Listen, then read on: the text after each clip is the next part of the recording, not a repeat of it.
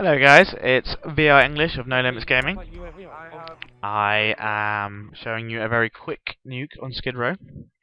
Um, it's important to be on defense for this nuke, and needs to be on demolition, uh, because it's the only guaranteed way that you're going to be able to control their spawns and keep them outside for the air support. So this is an air support, and you need to be aware of that. But uh, the road to the Harriers is quite exciting, so I hope you enjoy it. And I'll talk you through my errors and what I do right. Starting off with my errors, before I talk about my streaks and setups, is I push their spawn on the right hand side following the tunnel to go for the quick spawn kill. Um, this is actually a huge mistake because the harder of the two bombs to both cap and defend is bomb B. And by me moving over here, I'm pushing their spawn closer to bomb B. So I learned the error of my ways fairly quickly, and I moved back. Haven't realised they planted both bombs due to me and my friends manipulating the spawns.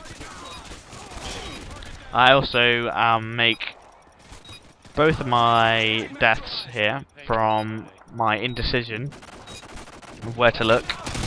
I'm trying to listen listen out for his footsteps and I look the wrong way. And I do both of both of my deaths occur from me looking the wrong way and making a decision too late. Here's the first one here. At the end of the day, I think it's just concentrating, and you need to make a make, make a snap decision fairly quickly. So back to my kill streaks and setups.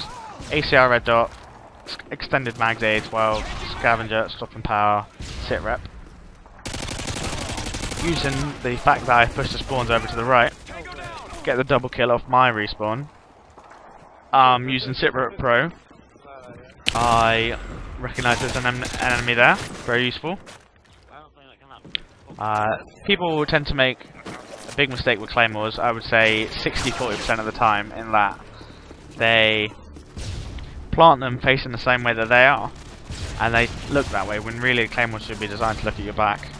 Regardless, claymores are a brilliant indicator of where people are, and sitrep is the ultimate cure to that.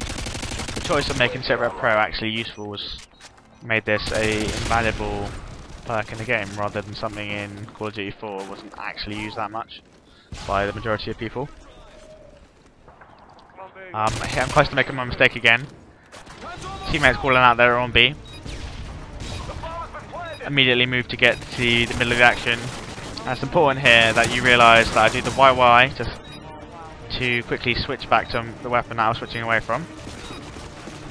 Um, it's important to be aware of how many people are dying, and how many people are still alive, because to be killing people on the respawn, people have to be respawning, so if people aren't dying at your side of the map, then you're unable to do this. Another very quick tip about this area, very very good area to go for quick kills. Important to call in your Harriers quickly, because you're never safe in this area of the map, because they'll spawn either side of you. Um, and as you saw earlier, I planted it I planted a claymore in a corner where I had just been. I do it again there through that doorway. Um, people run to kill you, whether you are, they look where you were last, and everyone right into your claymore. Easy kill, easy kill. Um, I'm running away to get to the air, air support now, because you can't do a quick Harrier, a quick chopper gun and call in like you can the Harrier, because it's a 45 seconds in the air minimum unless it gets shot down. Um, and you'll soon see that I'm highlighting the very, very key part of this map in that if you're on defense, you can spawn kill them outside, whereas if you're on offense you have a chopper gunner, there are so many places they can run to. Um, and so the chopper gunner it's quite unfair on this map. It literally sits behind this spawn, and I get a very, very easy nuke. And since I'm running out of time here, and you know I'm going to get the nuke, let you know that I go on with the video to get another Harriers and Chopper Gunner, but we win the game too convincingly, so can't go for the double nuke. But this is a sub 5 minute nuke, so I hope you like it. Uh, I've been trying to do this commentary several times, and I've overrun my recording a few times, so I'm going to cut it short here. Thank you very much for watching, I hope this is helpful. Hope you learn from my mistakes and realise how easy it is to utilise this map to your advantage.